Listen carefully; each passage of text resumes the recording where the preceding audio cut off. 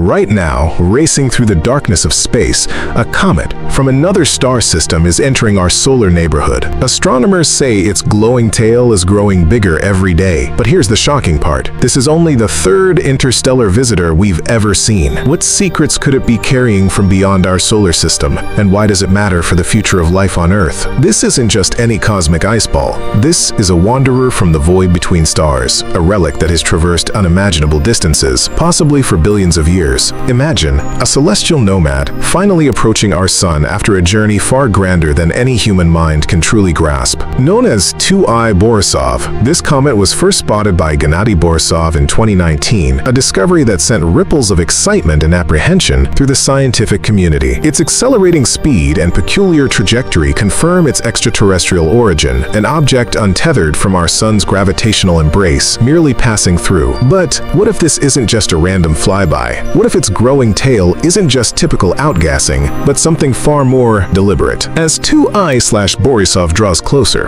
its tail, a shimmering plume of dust and gas, expands dramatically, hinting at a composition unlike anything we've observed in our own solar system's comet. Scientists are analyzing its spectral signature, searching for anomalies, for elements or compounds that shouldn't be there, traces of an alien chemistry. Could it harbor unique forms of organic compounds, perhaps even the building blocks of life, harvested from a distant, unknown stellar nursery. Every atom ejected from its icy core tells a story, a whisper from another star, a potential Rosetta Stone to understanding galactic ecology. But here's the chilling thought. What if the rate of its tail growth and the nature of its emissions isn't purely natural? What if this isn't just a visitor, but a delivery mechanism designed to release something specific as it reaches its closest point to Earth? What if the secrets it carries aren't just scientific wonders, but a silent, irreversible change for our planet once it passes us by.